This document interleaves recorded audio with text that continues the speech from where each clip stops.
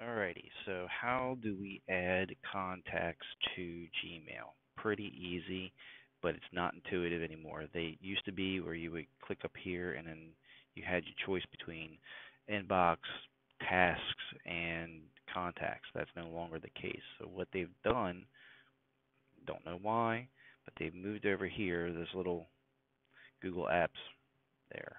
You click on that, you go down to contacts, and then that takes you into your contacts. Got it. Pretty straightforward.